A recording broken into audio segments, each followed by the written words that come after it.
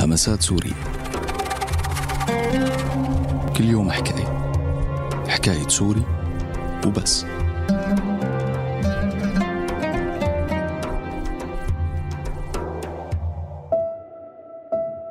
على عربة بثلاثة دواليب منذ سنوات عديدة يبيع قدر شربتشي الحلويات في سوق القامشلي. يقف منذ ساعات الصباح الأولى كل يوم متحديا برد الشتاء وحر الصيف.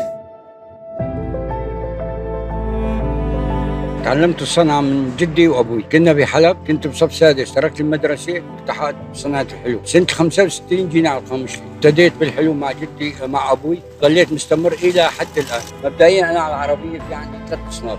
في كنافة في شعبيات حليب وجوز في هريسة. بهالشارع أنا صار لي 25 سنة. بعد عناء العمل اليومي والوقوف لساعات طويلة على قدميه يعود شربتشي إلى منزله برفقة عربته التي تغير لونها نتيجة سنوات العمل الطويلة حاملا الطمأنينة والدفء لأسرته. 25 سنة كانت العربية يعني بالنسبة لي كانت ممتعة بالنسبة لي أطلع في العربية ما مالي متجول أوقف مكان ثابت. القامشلي من العمودة من الملكية حوالي القامشلي كلها بترددوا لعندي.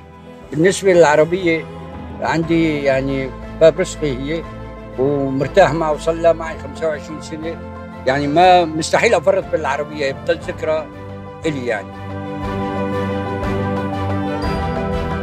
تفانيه في صنع الحلويات هو مصدر جذب الكثير من الزبائن حيث يقول حج عبد الصمد وهو مواطن من القامشلي بأنه يقوم بشكل يومي بزيارته لشراء الحلويات.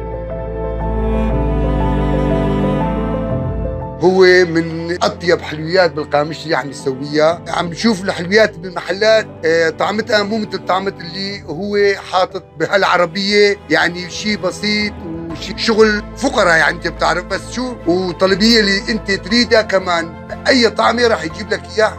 على باب بيتك على محل ما تريده كمان يجيبها. يوميا إذا ما قطعة حلو من عند ابو عبده مستحيل معناته أنا مديون. مجابها أصعب الظروف ومحاولة التغلب على قسوة الحياة. يحاول قدر شربتجي تأمين لقمة العيش لأفراد أسرته. حسن حسين راديو روزانا القامشلي.